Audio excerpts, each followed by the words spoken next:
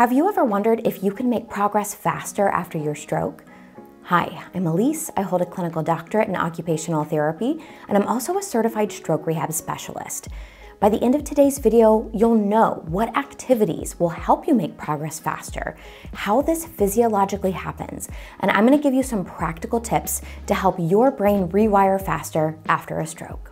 After a stroke, your brain and body have to relearn how to move and to think again. And it does this through an amazing process called neuroplasticity.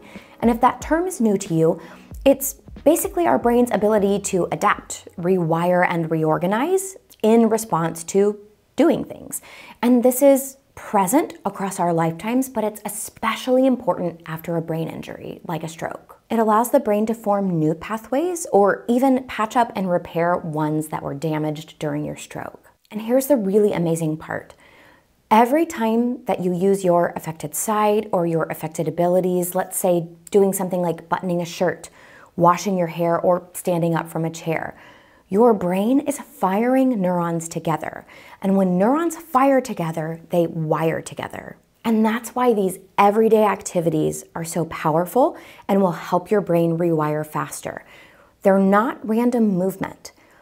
They're activities that are meaningful to you, they're salient to you, important to you, and this helps to amplify the brain's learning response. When you perform an activity that matters, your brain releases neurochemicals, and these neurochemicals act like fertilizer for your brain, for your neurons. They help new connections grow, strengthen existing ones, and reorganize pathways in your brain to make it more efficient. Let's talk about this from a physiological standpoint and how the principles of neuroplasticity affect your brain. So, I've been talking about salience, doing things that are meaningful to you.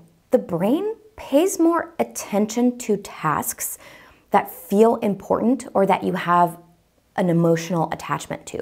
For example, you probably find it more meaningful to fold your child's clothing than to fold towels in a therapy gym. Specificity your brain is going to get better at what you specifically practice. For example, if you practice holding a utensil and eating with your affected hand, you are going to get better at that over time because it's not some random movement. It's a very specific thing you're doing to improve that brain body connection. Repetition, something I talk a lot about. Every repetition solidifies those neural pathways in place. And it makes that signal smoother and faster the more that you do it. Intensity. We can't have repetition alone. There has to be intensity along with the repetition. The harder that you focus, the stronger the signal to your brain. The brain responds to challenges and it rewires more effectively when you are engaged with higher intensity.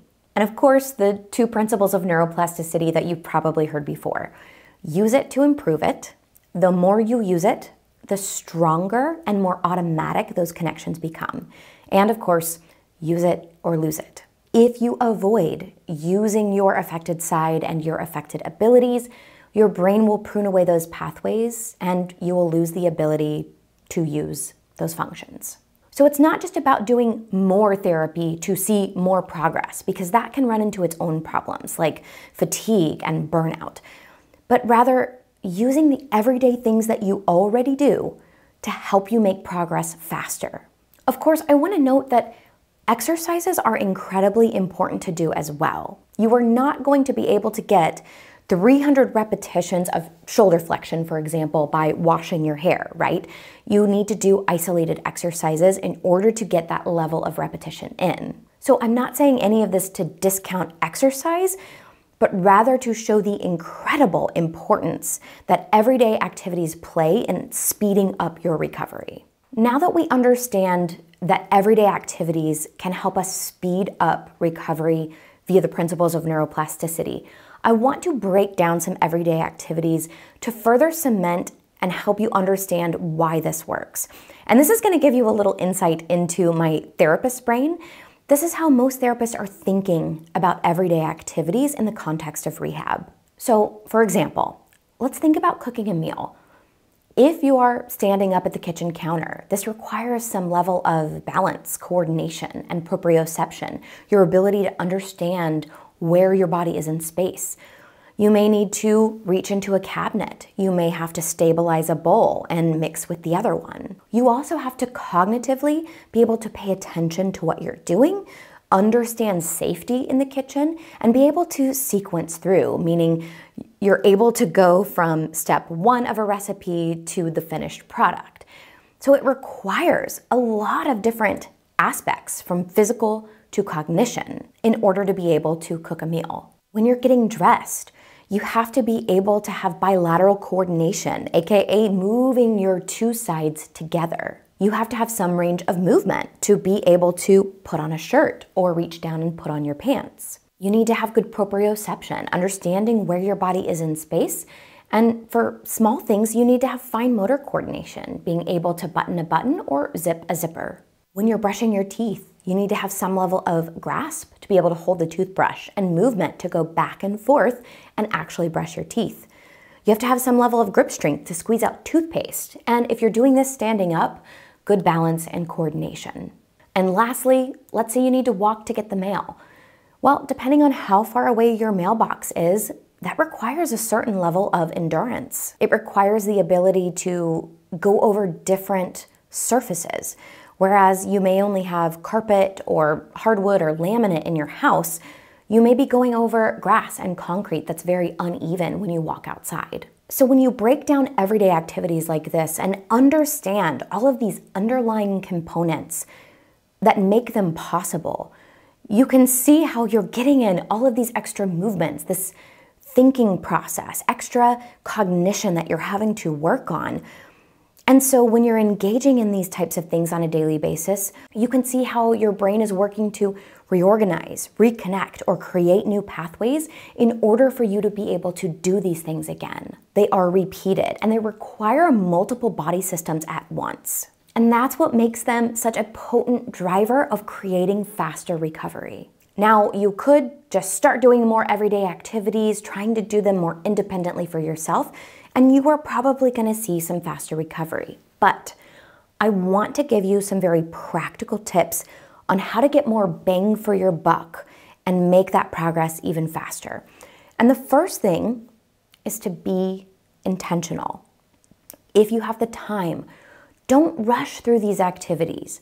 Really focus on making the most of your affected side or whatever affected abilities you're trying to improve. The second is to engage your senses. And this goes along with number one. You really want to be focused in and be paying attention. So, let's say, for example, when you're getting dressed, pay attention to how things feel. What different textures are you noticing? Really pay attention to your weight shifts, your balance, how your body feels, and really hone in on control and movement. Number three, Repeat these activities as often as you can. While repetition alone is not enough, every repetition that you do is a signal to the brain that says, hey, strengthen those connections. Let's prioritize this. And let's take the example of trying to shower independently. This is something that a lot of stroke survivors deal with when they come home from the hospital after having a stroke is not being able to take a shower independently. Now, of course, always get the adaptive equipment that you need to make it safe for you or have someone else in the room with you if this is something that you want to practice. But you are only going to get better at the thing if you do the thing. So, if showering independently is important to you, do as much as you can on your own. If you need someone to step in and help you, that's okay. If you need to use adaptive equipment, that's okay. But do what you can on your own as much as possible because the more that you repeat that, the more you're strengthening those pathways and you're telling your brain, let's prioritize that. They are trying to do this by themselves again. And lastly, think like a therapist. Increase the challenge with your daily activities. Now, it's not that you're going to do your everyday activities like this all the time or once you get movement back. But if you can create small challenges for yourself throughout the day, this is going to stimulate your brain to respond more. So, for example, if you're starting to brush your teeth independently, move your toothbrush back so that you have to reach farther to get it. If it's safe for you to do so, practice standing at the kitchen counter and take one hand off and see how you do. Adding these small challenges into your everyday activities will pay off in the end. At the end of the day, here's what I really want you to take away from this.